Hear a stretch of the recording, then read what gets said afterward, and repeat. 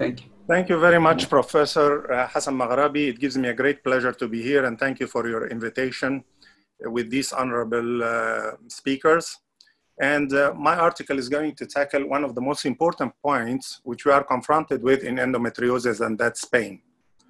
When it comes to endometriosis, always we do have the problem of there are two major problems in endometriosis, and these are actually pain and infertility.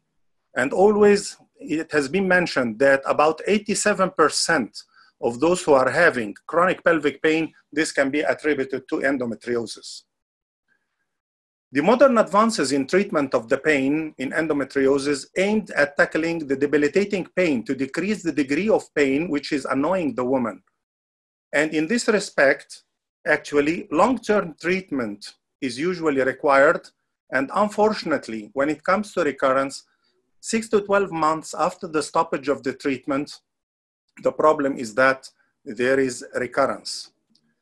But what about the pathophysiology of the endometriosis related pain?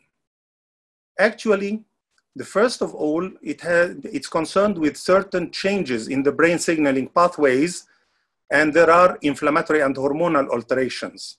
As well, the secretion of cytokines and prostaglandins, they usually make an activation for the nerve fibers to release inflammatory molecules we should bear in mind that the pelvis is usually highly vascularized and endometriosis, the presence of endometriosis is going by itself to promote neurogenesis. So it's not surprising to see that the pain might be debilitating in endometriosis.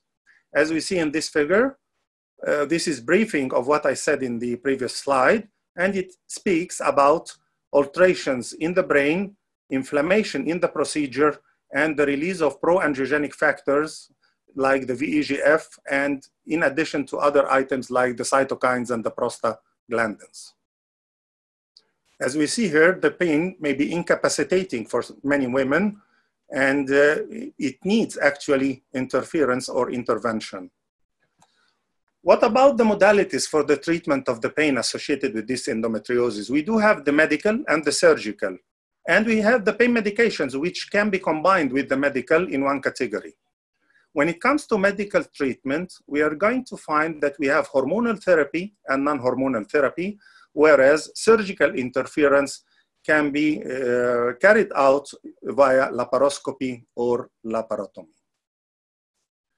When we return to earlier to 2010 for the uh, society, the Canadian Society of Obstetrics and Gynecology, their algorithm for the management of the pain associated with endometriosis included treatment just on the suspicion of endometriosis by co uh, combined oral contraceptive pills, whether to be taken continuous or cyclic. Another option of treatment as a second option, they advocated the usage of progestins to be taken orally or as injectables or to be applied as an intrauterine system named Mirena. GnRH agonist has been always there, but we are going to see the drawbacks of this treatment, although this treatment is effective. Interchangeably, for the medical uh, therapy, we have also the surgical therapy if this fails, and this can be managed via, as we said, laparoscopy or laparotomy. But if there is no answer for the medical or the surgical therapy, we should reconsider the diagnosis and to manage the chronic pain, uh, which is by multidisciplinary support. Let us speak about the medical treatment first, and we can see that always the goal has been to reduce the pain and inflammation in addition to reduction of the ovarian and local hormones. As we said, we have hormonal and non-hormonal treatments. For the hormonal ones, we usually have the traditional ones which have been uh, used for long, like the combined oral contraceptive pills, the progestins, the danazol, and the GnRH agonists. But during the last two decades, there has been various studies about emerging, promising alternatives that can be used, including the GnRH antagonists, the progesterone antagonists, selective estrogen or receptor modulators, aromatase inhibitors. What about the other treatments? The other treatments had always the idea of tackling what increases in endometriosis, whether it be drugs that act as anti-inflammatory or anti-angiogenic, or that decrease the production of cytokines or decreasing the matrix metalloproteinases, which we are going to see now the uh, role of each of these briefly. Of course, because I know I have limited time.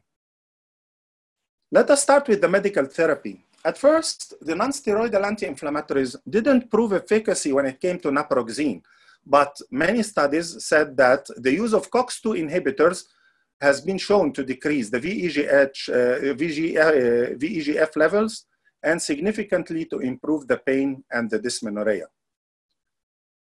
The combined oral contraceptive pills have always been popular. It has been widely used off-label as initial treatment with good results in decreasing the pain and primary dysmenorrhea. But the problem is that not all types of pain do respond equally to the combined oral pills, in addition to the side effects that may emerge with their usage. What about the danazol?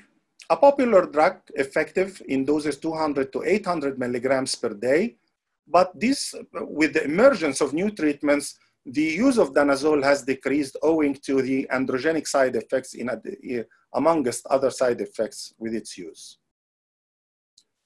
What about the progestins? The progestins, as we said, they come next to the combined pills, or they can be used as first-line treatment in oral injectable form or an IU uh, system form.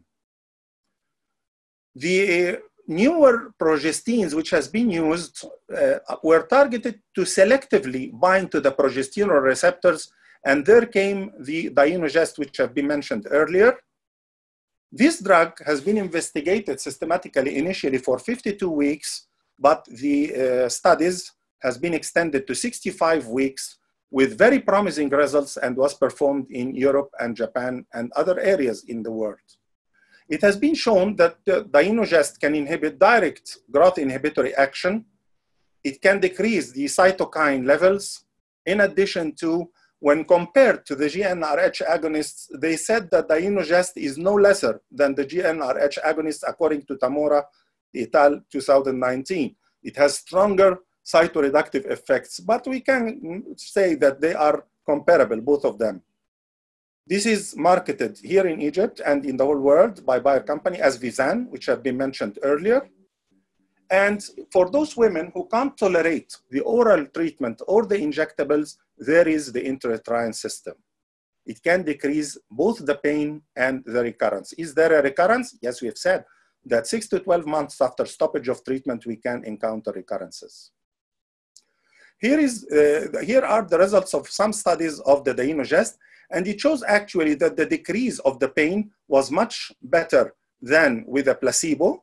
And uh, when it, uh, it was compared to the leuprolide acetate, the results were comparable in the degree of decreasing pain and with its usage for a long time, sustained pain relief was attained over 52 weeks during these studies. As we said, the GnRH agonists has long been used, have, uh, they have long been used, and actually there has been the problem of the bone mineral density loss, which limited their use, and so add-back therapy was advocated if we were going to use them. But the problem is that still some of the women who are having endometriosis, the endometrial tissues can express aromatase and produce its own estrogen. And so the response to the drug was variable. Then came in 2018 the approval of the FDA for a newer drug, which is a GnRH antagonist named Elagolix, and the trade name is Orilissa. This drug is, uh, causes dose-dependent suppression of the pituitary and the ovarian hormones. It significantly suppresses the dysmenorrhea and dyspareunia early from the first few weeks of treatment with acceptable efficacy and safety. And the side effects owing to the deficiency of the progestin can be treated by add-back therapy using norethindrone and earlier progestin according to Moadike uh, 2020.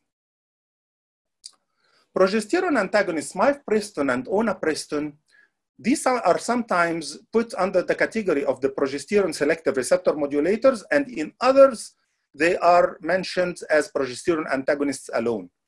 They both have anti-proliferative effects, but unfortunately, we are having the anti-glucocorticoid properties of these drugs to limit their use. Some studies like that of Zhang in 2017 found that the combined usage of laparoscopical treatment, laparoscopy uh, treatment in addition to mifepristone gave significant results with less recurrence and no drug accumulation side effects. Let us shift to the selective progesterone receptor modulators, and the very popular one is the ulipristal acetate, 15 milligrams to be used every other day for three months. This has been experimented with very promising results, and it was found to reduce the refractory chronic pelvic pain that's associated with endometrium and uh, with endometriosis, and the endometrial changes that occurred with this drug were reversible with its discontinuation. And it's here marketed in Egypt as the name Norpregna for Pharmacia company. What about the selective estrogen receptor modulators? When it comes to estrogen, we are going to say that it exacerbates endometriosis. But if we are going to speak about the selective estrogen receptor modulators, they do have some antagonistic and some agonistic effects. First generations were the tamoxifen, and the second was the raloxifene. But the third generation, named bazedoxifene, was found to have the greatest antagonistic and least agonistic effects compared to other SERMs. And it was shown to decrease the endometriotic results. And in some studies, it was found to decrease the pain and the estrogen receptor expression in endometrium of treated animals. As we know that endometriosis is associated with aromatase, uh, with estrogen production, and estrogen production is associated with aromatase. Aromatase inhibitors were thus, have thus been used either alone or in combination, giving good results for the treatment of endometriosis and endometriosis associated pain. The usage over five years has been safe, and the, but there were some concerns about the mineral bone density loss. As for melatonin, we all know that melatonin is a very potent anti-inflammatory drug. It's a free radical scavenger, it's an antioxidant, and plays a role in immune regulation. And so they experimented the usage of melatonin, and it was found to exhibit both pain relieving and anti-inflammatory effects. Researchers from Brazil said that melatonin, if given as 10 milligrams at bedtime, can reduce the pain symptoms associated with endometriosis. Here are some other modalities, but I can't mention the studies concerning them because the studies had some conflicting results. Some said that they would decrease the endometriosis but not the pain. Others said no, they decrease the pain and the endometriotic lesion size. And this one, but in many of the studies, the results actually were very promising and they all play on the assumption of acting whether as an anti-inflammatory or to decrease the size of the endometrioma cells or to decrease, uh, to inhibit the matrix metalloproteinases or to inhibit angiogenesis because we know that angiogenesis is very important in endometriosis. These are named like immunomodulatory drugs. We have pentoxifenolin, interferon alpha, the statins, vitamin D3, angiogenesis inhibitors, matrix metalloproteinase inhibitors, and tumor alpha inhibitors. But this last one here, actually, more studies said that it doesn't decrease the deep pain associated with endometriosis. Some others, they said, no, it acts actually upon the light endometriosis or the lesser degrees. A new thing has been seen here when the studies uh, uh, had been, uh, have been carried uh, at Yale University, and they found that a certain gene named microRNA LET7B, a genetic precursor that controls gene expression, was repressed in endometriosis. And so they thought about injecting it in mice, and they found that with this injection, there has been great reductions in endometrial lesions. So actually, if gene therapy is going to prove effective in humans as well, uh, it's going to be very advantageous treatment as it's non-surgical, non-invasive, and non-hormonal way to treat endometriosis. We can't forget that there are some home remedies for the pain endometriosis um, associated pain for treatment, like the usage of the heat, pelvic massage, over-the-counter pain relievers, omega fatty 3 fatty acids, omega-3 fatty acids, light exercise, acupuncture, rest and stress relief, castor oil, ginger tea, dietary changes, and the use of transcutaneous electric nerve stimulation. Certain foods has to be avoided, like the dairy products, the gluten, the processed foods, sugars, caffeine, and alcohol. And the first two, of course, are related to increased estrogen. And foods which are advocated to be given are the green leafy vegetables, the broccoli, salmon, and ginger. Let's go to the last modality, which is the surgical therapy. And we said that surgical interference can be via laparoscopy or laparotomy to make an excision or vaporization, ablation, or in the form of presacral neurectomy or LUNA. With surgery, 80% relief of the pain has been achieved. But what's the golden standard for the surgical treatment? What do we use? Is it laparotomy or laparoscopy? And if we use laparoscopy, what to do with the laparoscope? The best, according to the uh, Endometriosis Foundation of America, found that laparoscopic excision surgery was the best, and it was superior to coagulation to relieve the pain. Luna wasn't found effective for relieving of the pain, that's uh, the laparoscopic uterine uh, nerve ablation, but presacral neurectomy was found to be 87% effective. Finally, if hysterectomy is going to be an option, it's not, refer it's not preferred, but if used, it should be performed better totally because the uh, supracervical one, we know all that the cervix is full of nerve endings, and so the treatment is going, not going to be efficacious as desired. So finally, we go here. We should know something that the pain severity doesn't correlate directly with the endometrial tissue form. Sometimes we find the endometrial tissue is too much and the pain is less, and vice versa is true. Medical treatment can provide temporary relief. How much? To what extent? As we find, we are going to see that the recurrence of the pain after surgery was found to be about 44%, whereas after medical treatment, it was found to be 53%. And there came here the combination of the medical and surgical treatment whenever needed in certain women. Medical treatment with surgical intervention was going uh, can lead to long-term sustained pain relief with excellent results. So in conclusion, we know that endometriosis affects about 10% of the women in the reproductive age. The two main problems are infertility and pain, as we said before. Treatment involves medical and surgical modalities. The medical modalities may be hormonal or non-hormonal. Many new modalities are emerging with promising results and they are acting on the pathophysiology of the endometriosis. Surgical treatment is effective as a modality for the treatment of pain. And when combined with medical treatment, it can lead to long-term sustained pain relief. Thank you very much for your attendance and I'm ready for any questions now. Thank you very much, Professor Kortam, for an excellent presentation. I'm sorry that we keep you that late for such a very difficult presentation. And you are an excellent speaker, as I've heard before. Very Actually, Thank very you. nice speaker, full of energy also to keep us awake. Uh, uh, what are the indications of uh, laparoscopy in patients who have pain with endometriosis?